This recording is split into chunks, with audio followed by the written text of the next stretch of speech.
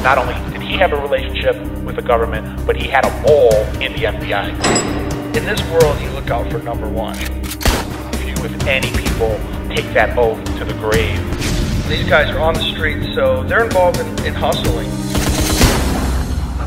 All right, welcome back into the OG podcast. Uh, glad you could be with us talking about that convergence between pop culture and true crime. I'm Scott Burnstein along with uh, Jimmy Buccellato and uh, Roberto, our producer, uh, on the wheels of steel behind the glass.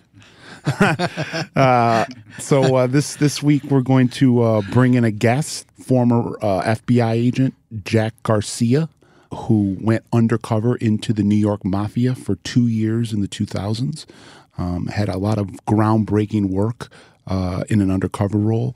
Was kind of a, a, Donnie Brasco 2.0 and then kind of fast forward 20 years and uh, jack garcia an fbi agent i believe he was working narcotics and uh, had some some background in, in organized crime and and uh, him and his uh, superiors decided to uh, target the gambino crime family which at least since the 1980s has probably been the most um, well-known high-profile crime family in uh, in New York City. It's where John Gotti came from.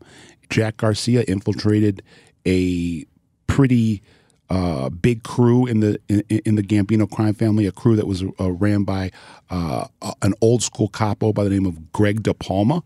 And uh, DePalma was a, a confidant of, of John Gotti's, as well as John Gotti's predecessors, of Paul Castellano and uh, Carlo Gambino, the, the, the crime family's namesake. And DePalma was also someone that was very tied into the entertainment industry, was a kind of a conduit for the New York Mafia and uh, figures like Dean Martin and Frank Sinatra and Liza Minnelli. So, you know, he was uh, a, a, pretty high profile figure both uh, in the uh, uh, entertainment industry in New York. He, he ran the Westchester Premier Theater, which was a, a, prime venue, a performance venue. And uh, then he was also a, an up and comer in the Gambino crime family. Eventually got promoted uh, to, to a capo spot um, under John Gotti and, and Jack Garcia. Uh, got his hooks into Greg DePalma and eventually from getting his hooks into Greg DePalma, um, was able to dismantle pretty much the entire administration of the Gambino crime family in uh, 2005. Took down the boss, the underboss, street boss, and a number of, of, of captains. So uh, we're, we're very honored to, to welcome in Jack Garcia. Jack, kind of talk a little bit about how you got started uh, doing undercover work. Well, you know, it's um, I when I was in college, I saw the movie Serpico, and I was uh, taking aback. You know, I, I realized finally my senior year, and football was not in my sights. Uh, I decided to uh, say, you know, law enforcement is it, and I wanted to be an NYPD officer. So I went and applied, and of course they had big layoffs back in the 70s. Uh, so uh, my prospect of getting into law enforcement were really, it were becoming less and less. And then uh, suddenly one day I'm watching television and I see an advertisement for Spanish-speaking FBI uh, agents that were in need at the FBI. So I applied. I figured, let me apply for the greatest law enforcement agency in the world, and uh, got in. Didn't even think twice about doing any undercover. I kind of uh, wanted to be like a Efrem Zimbalist, you know, uh, wearing a the thousand eye shoes, the fedora, and the three piece uh, suit. And uh, but then I started doing some little light undercover work while looking for fugitives, and I found my niche. And I think how, why was because I got in at a time in the FBI, which was 1980. I uh, got to realize the demographics of our society had kind of changed. Back then, the agents still all looked like Hoover types, you know, and we started doing more street stuff. And then eventually in 1984, we got involved in working drugs. And since I speak Spanish fluently, that I fell right into place. At, at what point did you uh, kind of uh, conjure or invent the, the Jack Falcone uh, persona? Well, you know, people think that I I've worked organized crime my career. That's you know that's incorrect. Most of my experience in the FBI was uh, either posing as a money launderer, a drug trafficker, a drug importer, because of the use of uh, my Spanish. Uh, being that I was born in Havana, Cuba, and I came to this country at nine years old, uh, I this is all I did. I worked narcotics, and then of course I did other investigations, police uh, corruption, political, etc., but always around the theme of playing some Hispanic drug trafficker. And one of the guys that I had worked the case on came to me and he said, uh, "Hey, look, we got this mob case opportunity. We want to bring in an undercover." Uh, I think because of your experience in undercover as well as the way you kind of carry yourself, you may be able to fit right in. And I said, well, I, first of all, I had no idea about organized crime because I never really worked it. I grew up in the Bronx, so of course I knew about it. But uh, I said to him, well, you think I could pass that off? He says, well, you know, we'll figure out uh, what you know. And I, I looked at it as a challenge. I said, you know, I've done all this other undercover type work. I figured, let me at least try this for what it was worth. And uh, he uh, told me the story that there was a strip club in the Bronx that was being shaken down by these Albanians, and that uh, the strip club at one time was uh, on record with the Gambino crime family, and to see whether I'd be willing to uh, look into these Albanians, pay them off, and as all of those negotiations and discussions were ongoing, um, a mob captain by the name of Louis Filippelli came in right after the Albanians had come in and destroyed the place and said, look, we can make your problem go away, but you got to pay us in order to keep them out. So they set up a scenario where I would come in, pay off Louis Filippelli and his uh, crew. They called him Bo, right? Wasn't sure. that isn't that Bo Filippelli? Uh, yeah, Bo Filippelli. That, yeah. that was his nickname, Bo. And the reason he got the nickname Bo, I think every other word out of his mouth was Bo. You know, Uh, and the guy is a Cardinal Spellman graduate in the Bronx. So I went to Mount St. Michael, which is literally about two miles away. But um, yeah, so Bo came in and uh, we paid him, I think, was five thousand dollars. Recorded conversation to him and his people, and it was uh, to keep the Albanians out, and the Albanians never returned. But the interesting thing about it is, is later on, as you saw, and I got into with Greg DePalma, you saw how the I they were working together. They would do the old classic shakedown where you create a problem or a situation and you offer an opportunity and a solution. So in this particular case, Albanians came in, they demanded money for protection. Of course, that wasn't happening. And then they called on the mob guys to come in and say, we'll keep these guys out, but instead of paying them, you're going to pay us.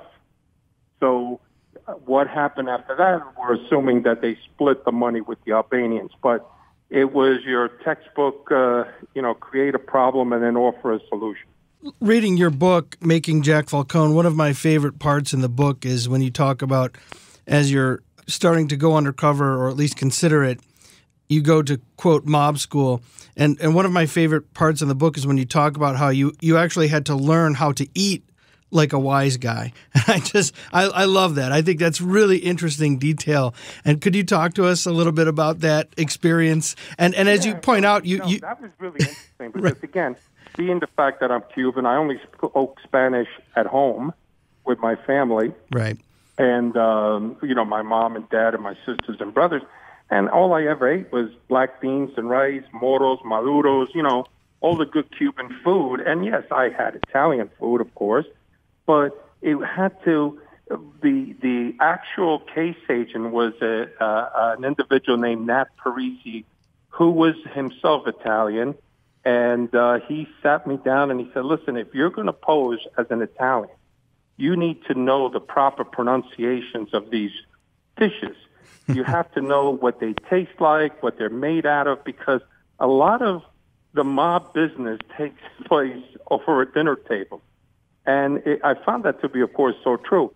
So it couldn't be like, you know, like for instance, if you were going to have brajol, you couldn't say bracioli or give me some, uh, you know, uh, marinara. You know, it, it, it had to have been, since the role that they had created for me was going to be someone who was Italian, maybe third generation, but grew up with that background so as any family members, just like a Cuban would know how to pronounce moros maduros or, you know, black beans and rice and, of course, plantains, they, I had to know that at least I was exposed to this type of food in the past, and it was not unknown to me.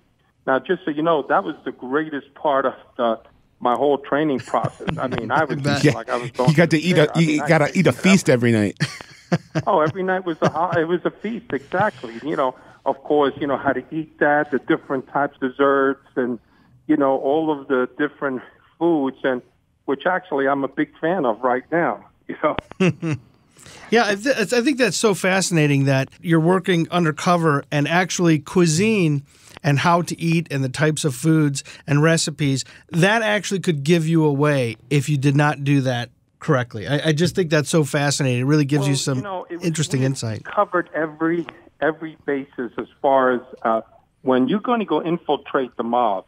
It's so unlike every other undercover case that I ever did. All the undercover cases, I used to be the boss. I was the guy who ran it. I was the big dope dealer, the money launderer. Or so there is that kind of, you know, you came in with power, you were talking to somebody with power. But when you infiltrate the mob, there is a lot of deference that you have to show.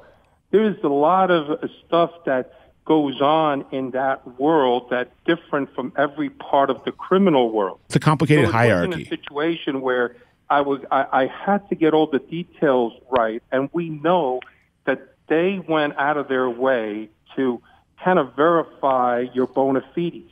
That all of you know, it's a world where usually somebody grows up in a neighborhood and they've seen and they see how they interact as kids, high school kids, young adults, and you know, and men. So it was one that was going to be a, much more difficult than a lot of my undercover. So we wanted to make sure that we had an airtight background or legend, as we call it in the FBI, that it would be, no matter if it was subject to scrutiny, I would be able to pass. So one of them was, of course, you know, I, I had to create an issue about, well, where are you from? So the fact that I was from Miami, Florida, I was third generation, and I left school early. My parents died when I was young, and of course, uh, I grew up around the, you know, the drug world. I was kind of like involved in drug dealing. And the good thing about it was I was able to use my informants and sources that I had out there in that drug world in Miami and other places. In the event that was ever questioned, I could rely on having them uh, be my so-called saving contact. But even as far as parents, we went to cemeteries and looked and found Mr. and Mrs. Falcone who had died at an AIDS time. And the reason why we had to be that detailed is, God forbid, I'm down in Miami, Florida with these guys, and maybe there was a little question as to who I am, and they would say, hey, you know what? You came from this area, Jack. And I knew Miami like the back of my hand because I've done a lot of cases down there in narcotic matters. So I, they would just say, you know, why don't we go pay our respect? We know your parents died. Let's go see where your parents are at. We'll, you know, give them flowers and we'll say our respect. Now, if you don't have that, what do you do? What do you say? So we had a Mr. and Mrs. Falcone that I could go see and deliver flowers to, and I knew exactly where everything was. So in the event they got that far, I would be covered. The only fear I would have that at that same time, the real Falcone kids would be there and they'd say, who the hell are you? right. Yeah, there's zero, this- was- zero room for error in I- I think it just dem- it demonstrates just the the amount of detail that you have to go in uh, in into creating the, the the character of, of an undercover persona. Right, and you have to, but each one is different depending on the case that you work. With the mob, they're very detailed. They want, there is that distrust element at all times. There's always like, who are you? Where did you come from? You know, who do you know? We had to, we had a source who was very well liked and respected by Greg DePalma. And he was able to vouch for me that we had met over the years at gambling in Atlantic City and Puerto Rico. And he's visited me. My family knew his family. And then, of course, we did all this backstopping where we created this background as to where my money was, which was reality in real estate, but they suspected. And we always wanted to, to kind of dangle that carrot of the criminal world that I was involved in really with drug trafficking. So you wanted to make sure that if they did, and I know they checked this out because when Greg DePalma later on got me involved in a local union, I had to fill out a form that would include Social Security former addresses.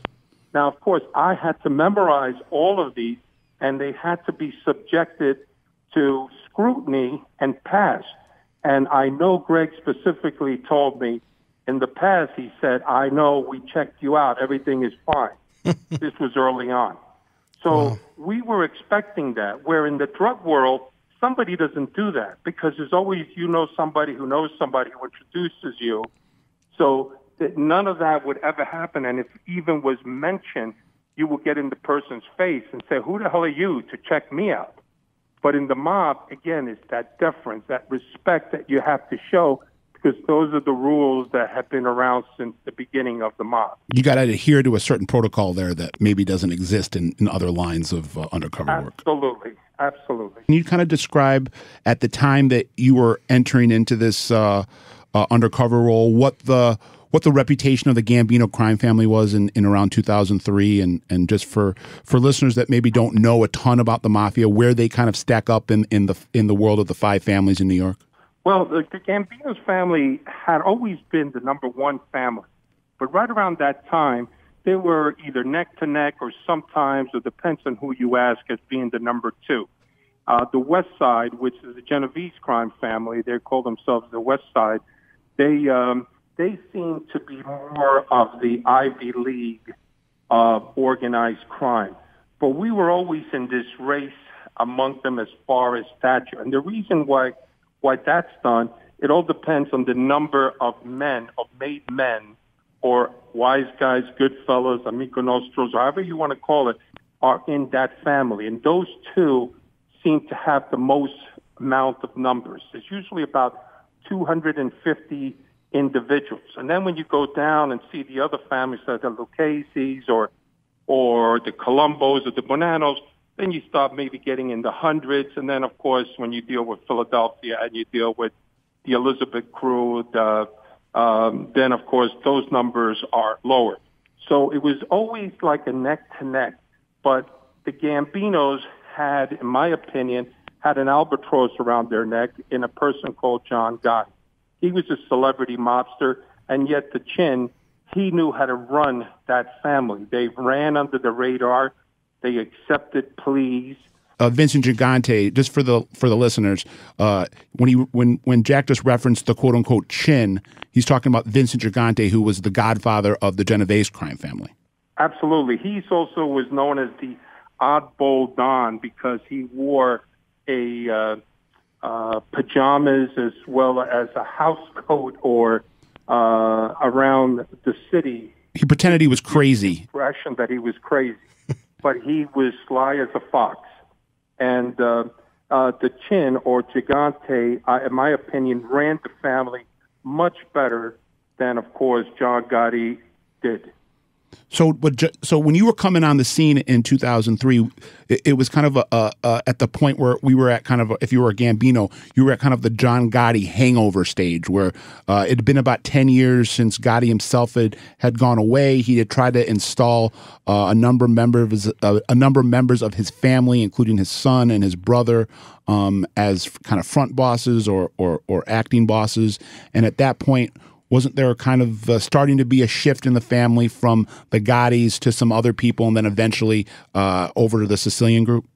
Well, yes, it was. But keep in mind that Gotti, we know, went to jail in 90, and I think he passed away right around 2002. Yeah. Peter Gotti was named, uh, the, uh, his son, of course, uh, that was uh, uh, a total train wreck. But Peter Gotti, who even to this day, still in my opinion, is the boss by name only. Although he's in jail, that's that's my takeaway. That Peter Gotti still had. Then you had, of course, the acting boss, which was Arnold Squitieri, who we took down in our investigation. He was a loyalist to John Gotti, as well as Tony Megale. So you still had that faction going, and I think that after our investigation and after the other large Gambino investigation, you started seeing more of a shift of more of the Sicilians and Dominic Cefalu uh, trying to run the organization, and of course Cali now. Um, you know, he's come to the attention, but I still think that because of the law enforcement efforts that we've had over organized crime over the years, this Peter Gotti is still dangling out there as more of a of um, let's say uh, as the boss, but one without power. Nowadays, being a boss is not good for business for organized crime. He's kind of a t- titular head or a ceremonial boss. Yes, absolutely. That's my take on it. And of course, but you do have the Sicilian influence on there, and it seems like the Gotti um, name is dwindling. However, we all thought, and I know even I was one of them when they killed uh, um, Cali, that Gene Gotti might have been involved, and of course that was proven not to be the case. And that's but, another brother of John Gotti. So Peter Gotti, I believe, is is John's older brother, and Gene would be his younger brother. I think that's the way it goes. Peter Gotti was a garbage man before, but he was also, of course, a criminal. Gene Gotti, in my opinion, is a stone cold gangster. I mean, he's he's hardcore. I think it's more than just your opinion. I think it's via via the court record and, and informants. Yeah, I mean, he, he just got out of doing uh, thirty plus years on a uh, a drug and racketeering case, and uh, yeah, he's he's uh, he's stone cold. Yeah, and, and that's what it is. But they still the Gotti name is somehow in there. There may be some loyalists involved, but you have to understand, and as you know, this Scott and guys, is that you know the mob has totally shifted their their way of doing business. I mean, they've come to realize that, you know, leaving bodies on the streets is bad for business. They've come to realize that, you know, uh, out there now is you want to be sticking to the original roots, which the mafia is supposed to be a secret criminal organization, not have celebrity mobsters, not being out there making headlines. They should be out there making money. So they got rid of all their social clubs where they used to hang out and kiss the ring that Gotti requested. Now they're no longer doing that. They put on new layers in the actual structure of organized crime when in the past you had what they was called the administration, your boss, your underboss, and the consigliere. Now what they've done is they've acted in their acting bosses, street bosses. So they're no longer getting the commissions totally together. They're maybe just having messengers. So they're trying to get back into doing what they, instead of moving forward, like all organizations and businesses say, we want to go forward and advance and catch up with the latest technology. They want to go backwards and get back to the original roots of operating in the shadows. And I think they're doing a good job. And personally, I think the FBI, with the restructuring, of them no longer being an investigative priority, you may see the comeback of organized crime tenfold five years from now, 10 years. Because right now, they're growing exponentially. We don't know that. We have not, we went from five squads in New York alone, one for each family, and two other squads that handle peripheral organized crime, to now having two squads. So if an agent is working a case that means that the whole squad is involved in that case. It's no longer other guys working cases. So yes, there are going to be cases that are still going to go on. There are going to be wise guys going to jail, but a lot of them are going into the shadows. And as long as you have uh, loan sharking, bookmaking, as long as you have extortion, people buying stuff that fell off the back of the truck, you're going to have a mob. Yep, I call so I call them not going away. I call them the three pillars of organized crime: extortion, uh, bookmaking, and uh, loan sharking. And as long as those three things exist, and they've existed forever, and they will exist forever, uh, there will always be some form of, of the mob. In your book, you talk about Robert Vaccaro was someone that you suspected was tied in with the so-called Zips, the the Sicilians. Can you talk to us a little about a, a little bit more about that? I think at one point you were hoping to actually get in close enough with him that you could actually go to Sicilia and meet with some of the Sicilian uh, mafiosi who were um, connected to the Gambinos. Right. And Robert Vaccaro really was an interesting character. I actually came to like him, and, uh, you know, I thought he was, uh, you know, an old school mobster, unlike Greg DePalma, who was, you know, telephone, telegraph, and tell Greg DePalma which was great for us in the FBI because every time he talked, I had a recorder on. Robert Vaccaro was different. He was a different guy. He told me that he was part of the Pizza Connection. We were trying to get to him, in which I even suggested, well, why don't we go to Italy, to Sicily? And he knew or suspected that I too was a drug dealer. He never asked me. He never talked, but that was kind of the role that I was playing. So we mentioned, well, one one time we should go to Sicily. He said, well, I still know people there. He told me. So uh, this is one of the things that kind of uh, bothered me about this investigation or the shutting down of the investigation was that we never followed that up. And it could have been that he might have known some groups there. Uh, as far as his connection to the Sicilians, I think he has more of a connection, and he had a more connection with Arnold Squitieri as well as Louis Bo Filippelli. But keep in mind, Arnold Squitieri sold junk too. Mm-hmm. He went to jail for that. So uh, is Vaccaro tied in directly to Sicilian? I think when he did his first jail time on a state level for drugs, because that's what he did time for, he may have connections over there. But he, right now, his loyalties, I've been out of the game now for 13 years. I don't know whether he's tied in with Cefalu and the rest, but uh, if Louis Filippelli is, then guarantee you so is Robert Vaccaro. So, for people that have uh, read the Making Jack Falcone book, uh, this will be a uh, a familiar anecdote. But for those that uh, haven't, I would suggest you get out and read it because this was one of the most exciting parts of the book, and I want I want Jack to kind of uh, maybe flesh it out a little bit. So you're at a uh, suburban shopping mall, a, a, a Bloomingdale's, I believe with uh, Robert Vaccaro and uh, Greg DePalma, and then another kind of lower ranking guy that they called uh, Petey Chops.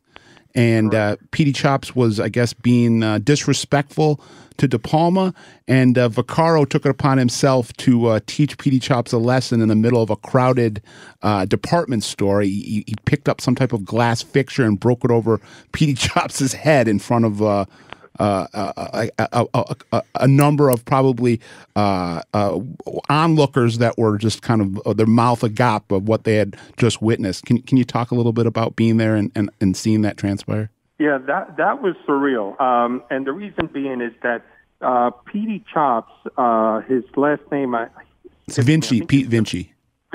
Vinci, right? He was uh, a big loan shark and money uh, and bookmaker in the Bronx and he was in Greg DePalma's crew. However, he violated for months the rule that you're supposed to a kick up because money always goes up the flagpole, and two report to Greg. And it was driving Greg mad. Not the fact that he wasn't reporting to him, but that he wasn't kicking up, because all that money meant that he wasn't kicking to Greg meant money was that Greg was not getting in his pocket. So he went on this mission to try to locate this guy, and he asked around. Finally, he had found out that Peter, uh, Petey Chops went to Bloomingdale's every certain days. I forget the days, and he would have his girlfriend go shopping while he went into the. Uh, there's like a little restaurant up there, had his cup of coffee and whatnot. So he had inside information that on that particular day, which was President's Day, huge sales at Bloomingdale's, and at six o'clock, that Petey Chops will be showing up. So I, being his driver, drove him and Vaccaro to the restaurant. now, when we get to, uh, I'm sorry, to Bloomingdale's, we immediately go up the stairs and we go to the, the restaurant that we know him to hang out. And we're sitting around looking at housewares, just chit-chatting, waiting to see if we see Petey Chops. Well, sure enough, Petey Chops comes in with two women. Right away, Greg goes on the offensive. He pulls the guy over. He tells the ladies, "Go powder your nose." you know, so they go into the cafeteria, and Petey says he tells Petey, he goes, "Where you been?" He goes, "What do you mean where I've been? I'm being followed."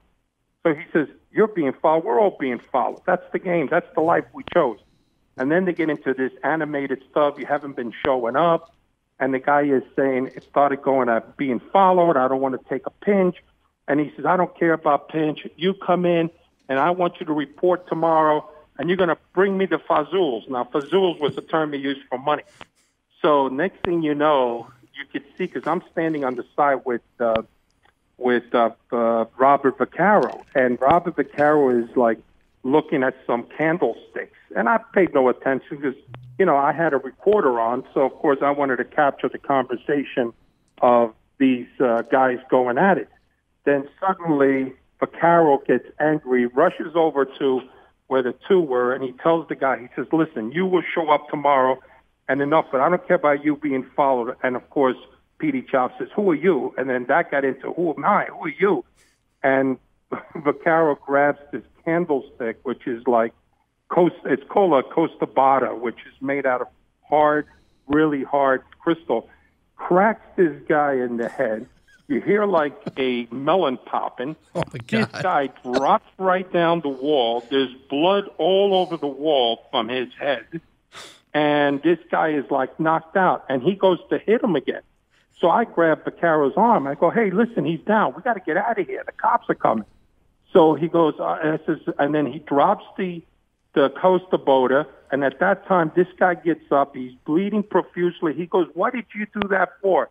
Greg De Palma goes, you know exactly why you did, we did that, you. And he went on back all these expletives to the him. And then we started walking back, and this guy is just up and loud screaming. And Vaccaro grabs one of the knives that they had, and he was going to stab him. And I said, I grabbed that from him. Right. I says, come on, let's get out of here. We go down the escalator, and as we get down the escalator, there's a whole bunch of, of uh, security guards that I guess were coming up. And Greg De Palma, without missing a beat, he goes, "Hey, some guy, the guy over there at the top of the stairs, he fell down the escalator." and we get in the car and we took off. Now on the ride there, Greg says, and it was kind of interesting the way Greg put on his captain hat. He told Vaccaro, He goes, "What you did was wrong." You know, he says you can't put your hands on another friend of ours. Do you understand? And he says, I know. He said, but don't worry. I'll cover this because Petey Chop's assigned to me. So if he's got a beef, he's got to come to me first before he goes to the boss. But I'll handle all of that. But he goes, that cocksucker, excuse my French, better show up tomorrow. Well, the next day, you know, we get back into, we used to hang out at the nursing home where Greg De Palma's son, Craig, who was also a maid guide, but he um, had tried to commit suicide uh, by hanging himself in prison, and he was in a vegetative coma. So we would spend most of the day talking there. So the next day, sure enough, in comes, I see Pete Vicini driving up. He had gauze on his head like Yankee Doodle Dandy and walked in, apologized, and I was with Vaccaro. So I said, Vaccaro, there he is. So I said, you're going to talk to him? And he said, F him. And supposedly Greg, then we went to lunch. Greg said he came in, he gave us the money. He said he's going to start. He wanted to know if you were a friend of ours. And he said, and he goes on, uh, he says, and also, Jackie, were you also straight? And I told him, soon you will be. So that that's the kind of a interesting story that it was because it was surreal. Now that helped our case tremendously because now there was an act of violence involved in the case. So of course now they're in a situation where they have, um, you know, this has escalated their charges by having a display of violence uh, shown in the investigation. So just uh, back up for a second and kind of uh, take us through uh, first, you know, meeting and ingratiating yourself with Greg De Palma, and then how you reached a, a status with him over, uh, I think, a two-year period where he, he was ready to uh, vouch for you with the family administration and actually get you made. Well, you know, it was kind of a, um, and I write this about my book. It was, you know, you can't go in like in full force. I had to, uh, you know, I learned from mob school and, and of course, speaking with other agents and sources before I took on this job, of course, what we all know today, which money and greed is what drives organized crime. You know, so I, I didn't want to go in there like, you know, all out. I wanted to make myself attractive to him by being the kind of guy who kept his mouth shut, but he was an earner. So we did it slowly, methodically. I tried to do the, the whole thing. We discussed where we had some cigarettes from a case that I had before that I offered him and his uh, driver at So the he was time. a big he was a big smoker, right? And you kind of one of the ways you g- garnered favor with him was feeding him uh, stolen cigarettes, right? Or what he thought were Right. stolen cigarettes. Well, they were. He thought they were stolen cigarettes, but they were actually counterfeit cigarettes from uh, a case that I was working down in Atlantic City at the same time. But he was a huge smoker. He had only a quarter of a lung. He's had surgery and cancer in his lung that were removed. He would take a cigarette that he bummed, and the first thing he would do is take the filter out. I mean, this guy was hardcore. We would say, "Don't smoke, Greg. You know, you're going to kill yourself." He goes, "Ah, the hell with it. We all got to die sometime." He literally smoked packs of cigarettes. And what got me, every restaurant that we went to, he of course knew the owners. He smoked in the restaurant. And there were people sitting there, and I said, Greg, put the cigarette away. Oh, fuck them. Who are these guys? he, he was always, he was the most rudest guy you would want to meet, and he smoked a lot. So what happened in this particular case, I offered him cigarettes. Of course, he tried to unload it, not him, but the, the his driver. They didn't get the kind of money. So then I gave him a, a, a an envelope, which is a, uh, you know, something within the mob. You're always getting these tribute payments and I worked him slowly and gradually. I would show up. He would come. I, he kind of like chased me. I was the, you know, I was being hunted by him because he knew that I was around money, that I had money, and I had also I was doing cigarettes. He suspected me doing drugs. Then we got into selling him uh, what he thought was stolen Rolex watches, and they were really watches that we had seized from narcotic and other investigations. Some of these cases were some of uh, my ex-drug dealers that I locked up. We were selling them the Rolex at like bargain prices. They were like forty-five hundred to five grand for this Rolex. He would then turn around and sell it for eight or nine thousand. So he was making money with uh, with me hand over fist with Rolex, with diamonds, with uh, cigarettes, with uh, even we got involved in the television game. So it was kind of where he started wanting to be around me. The next thing you know, I started driving him. We we forged a friendship. You know, I was with by his side. You know, from the morning until like very late at night.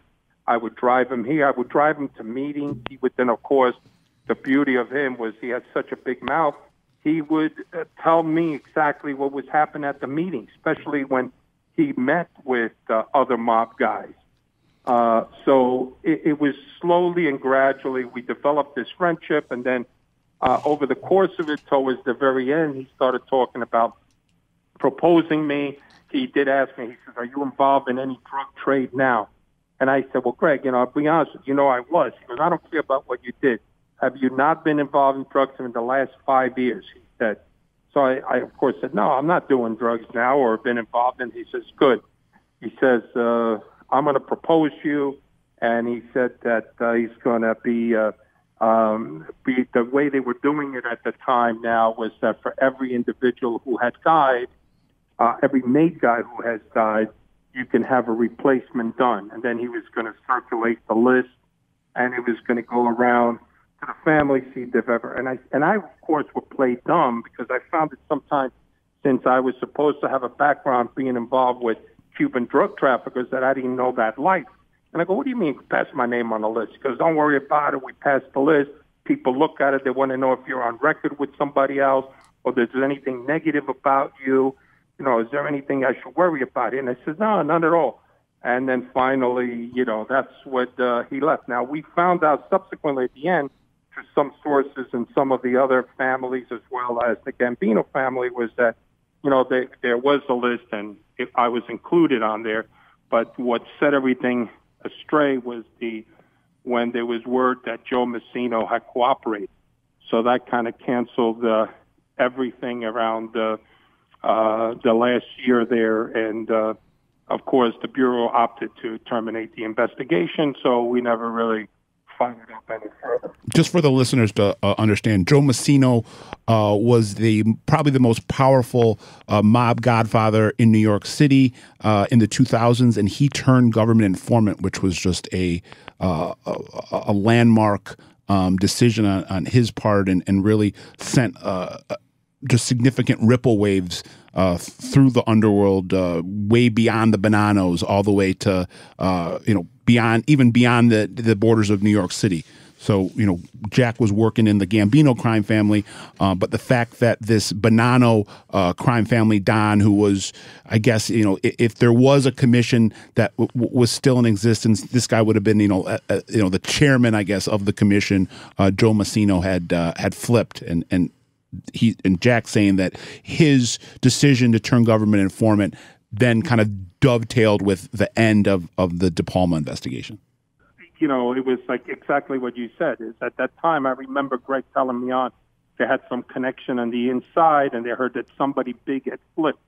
That was like conversation. And I said, well, you know, who who is it? Who's the guy? He says, well, somebody big. No one really knew. They just knew that something was amiss. And then finally, when you know, when two and two was put together, they came to realize it was Joe Massino and and one like you said, something that big in the mob world happens, you, you tend to just put everything on hold and stop it and, and not pursue it.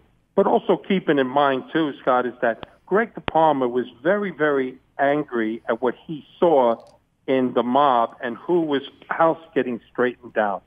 He kept referring that he saw some of these guys. He couldn't believe that they're they were making these guys. Some guys were actually paying to get their button, uh, which simply would mean rather than you play with the rules of of getting straightened out, uh, which is usually you're a guy who makes money, you're a guy who is uh, willing to do time, a guy who keeps his mouth shut, and a guy capable of violence. Usually, are the kind of the basic requirement tenet of becoming a made guy. Well, that other guys were maybe paying their way to get in. Other guys were not, in his opinion, suited for that life. So um, I think uh, that could have been. I was, it was all right about timing, and uh, when the bureau decided, I was of course very upset by it. Uh, I voiced my opinion. I talk about it in my book. I just felt that it was short-sighted uh, for that decision to be made because we had an opportunity. If I was going to be straightened out, that we could have introduced other undercover uh, agents, maybe throughout the nation, to some of the other families we could have also been more privy to what's happening in, in that world than just somebody that, uh, you know, is an associate because that will open the doors for conversations. I mean, one of the basic things we learn, uh, and we all know is that in that world, when you meet another wise guy, you can't just go up to another wise guy and say, hey, how you doing? Says, I'm with the Gambinos. I know you're from the Lucchese's. You always need a third person to make the introduction who knows the both of you. And when you make that introduction is always, I want you to meet Jackie. He's a friend of ours. That tells the other individual that I'm a mate guy, that I'm a friend, I'm part of this, this Cosa Nostra. And, but if I say to you, I want you to meet Jackie, he's a friend of mine, that puts you on a spot as saying, be careful, you know, he's not one of us. Talk to him, be friendly to him, but don't engage in mob business. And I was tied. It would have been a good opportunity for that to to be part of that. And also at times when Greg met with some Colombo bosses and captain that I would drive, I would be sitting on the table, and then Greg would say, "Jackie, I'm going to go over here," and he'll move to another table and engage in mob talk.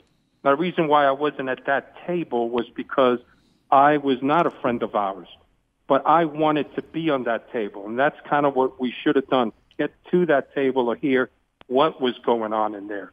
And that's why, to my opinion, getting straightened out would have been a plus for law enforcement because it allows you to be in that table. It allows you to the keys to the kingdom. Can you kind of uh, maybe reflect on you know the, maybe the one instant or or two instances that you felt you were most um, you had the most exposure, the most chance to get to get uh, maybe found out? Did you ever were there ever situations where you were nervous about getting your uh, cover blown?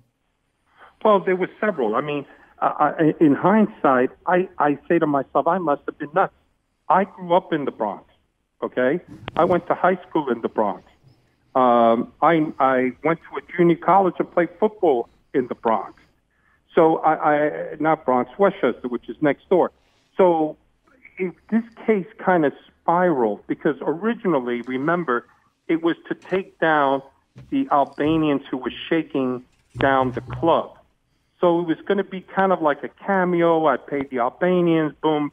Alex Rudach and company goes, boom, they go right to jail. But then, you know, the fact that Louis Filippelli walks in, the fact that Greg DePalma gets out. Because when Greg DePalma was coming out of prison, that was a shocker. He immediately called us, not us, but the source, and met with him, and he hit the ground running as far as trying to reclaim his turf.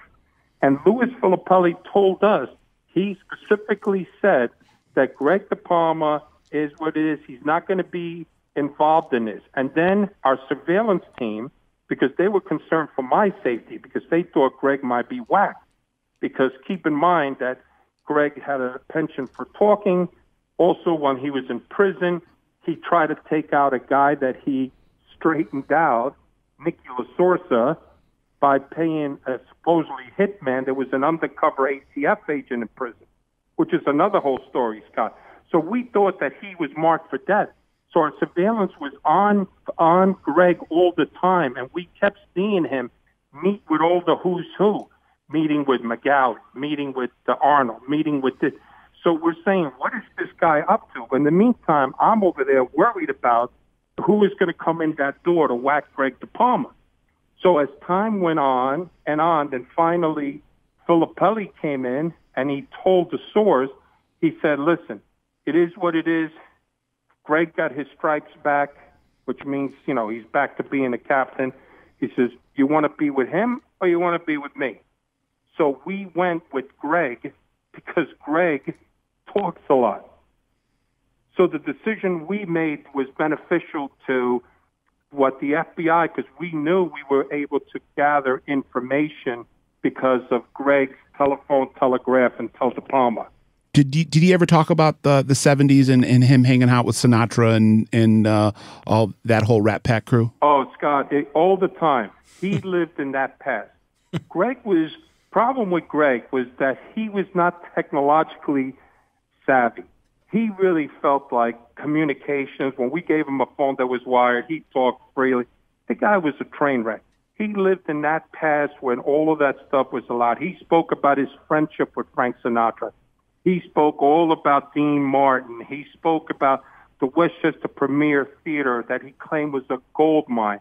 And what they did is they, it's like a typical mob thing, like you see in Goodfellas. Like once you let the mob in, it, they blow it out. Well, he blew up that whole thing at the Westchester, which was at that time it was Las Vegas, and then there was the Westchester Premier.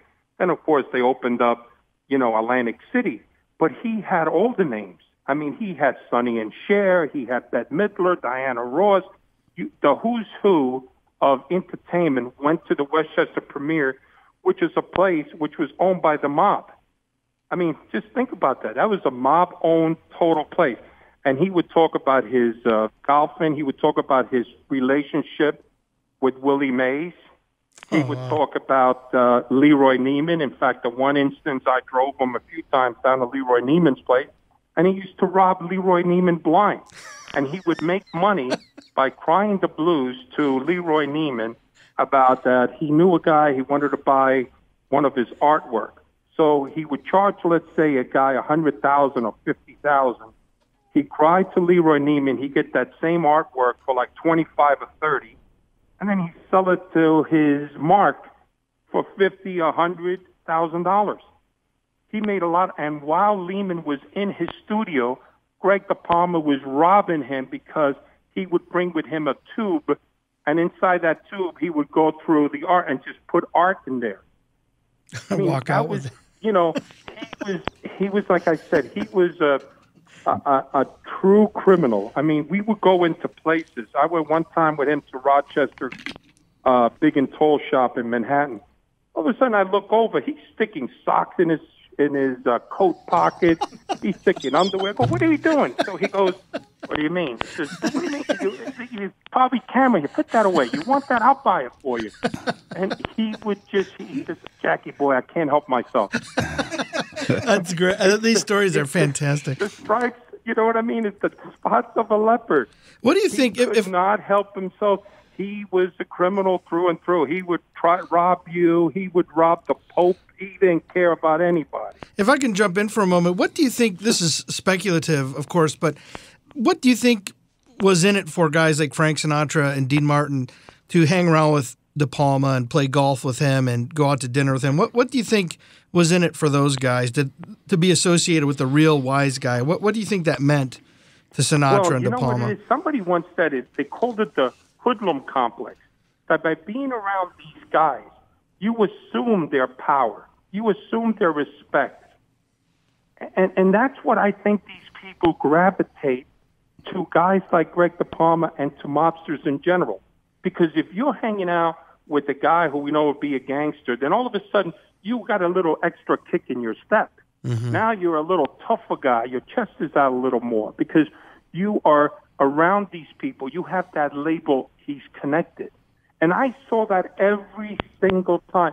I would sit for lunch or for dinner with Greg, and I see people in the business world who literally were financially successful. They had their lives come in and just fawn all over Greg De Palma because he simply was was the owner of the one-time Westchester Premier Theater where people had great memories. I mean, I used to go to the Westchester Premier on dates when I was a kid. This was the place to go. It was the hottest place in New York. And I would sit there and I would scratch my head. I go, what are these people doing? Are they nuts?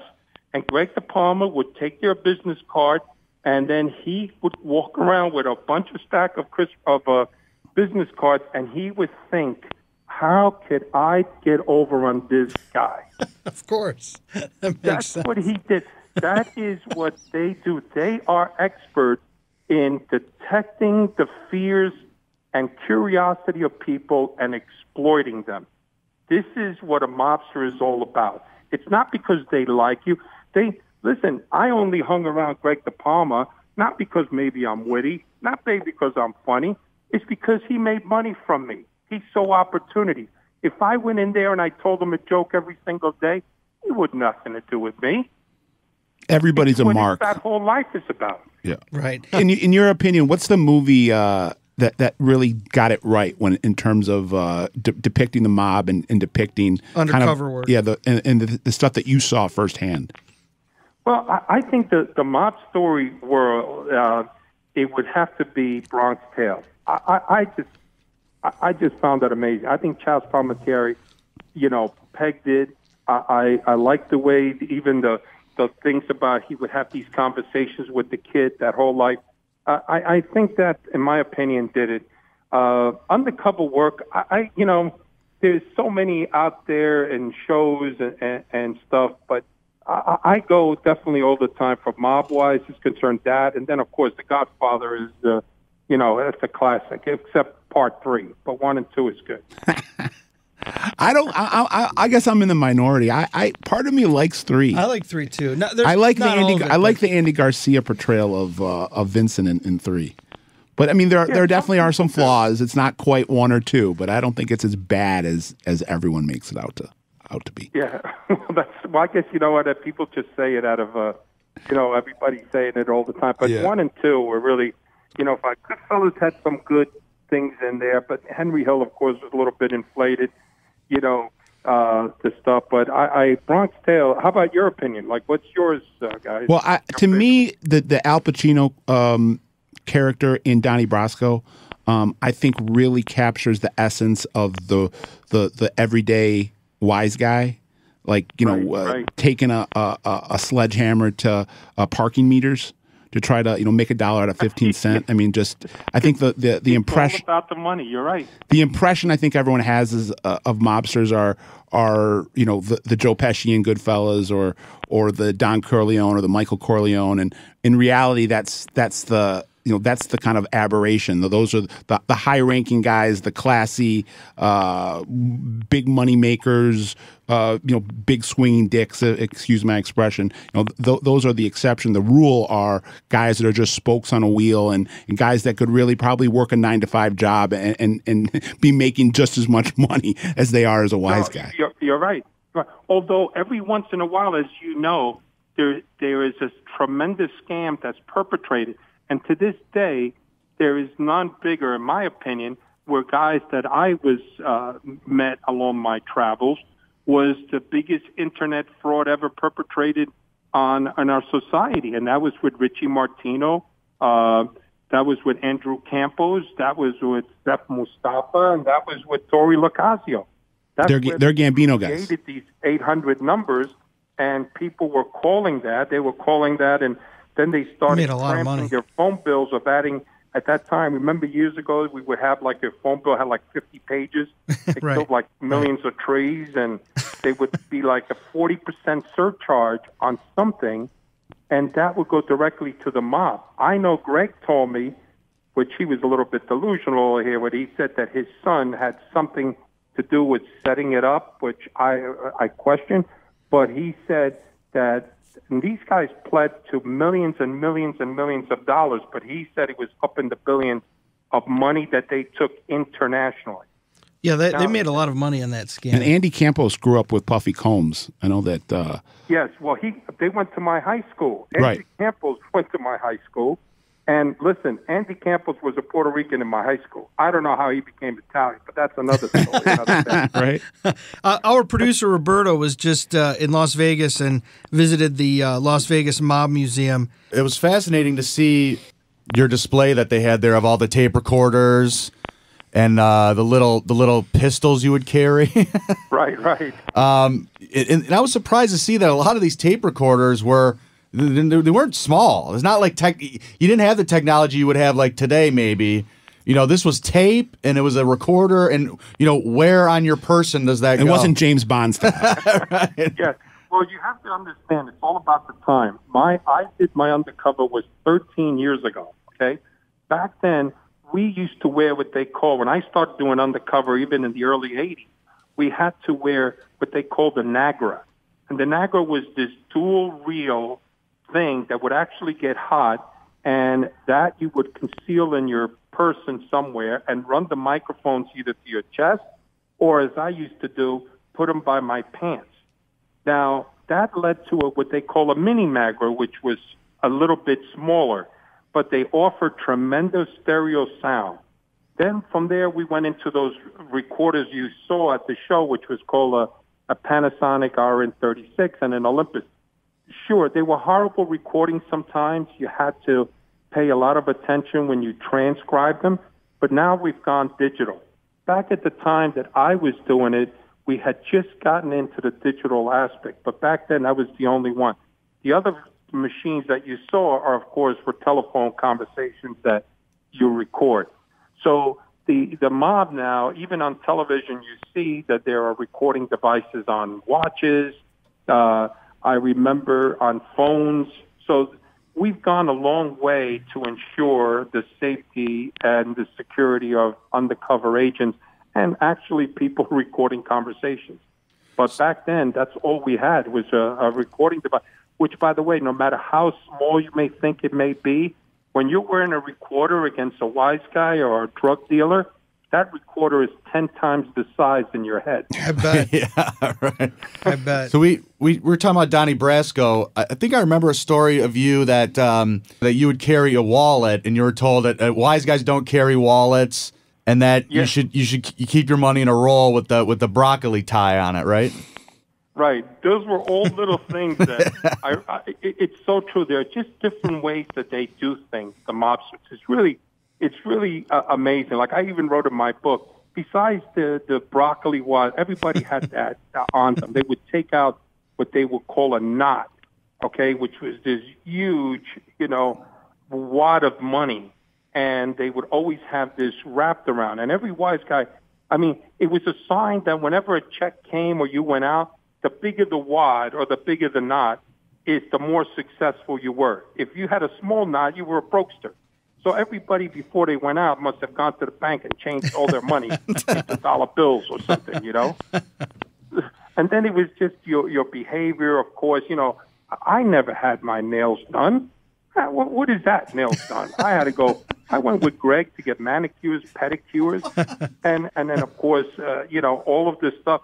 It was all about looking good. Your car had to be spotless, and then when you came out, it was all about a show.